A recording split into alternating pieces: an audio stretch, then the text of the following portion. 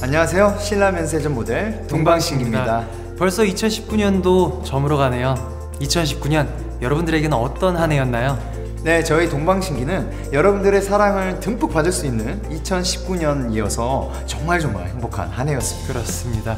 올 한 해 정말 고생 많으셨고 남은 2019년도 잘 마무리하셨으면 좋겠습니다. 네, 그럼 2020년도에도 저희 동방신기와 신라 면세점과 함께하길 바랄게요. 함께해요.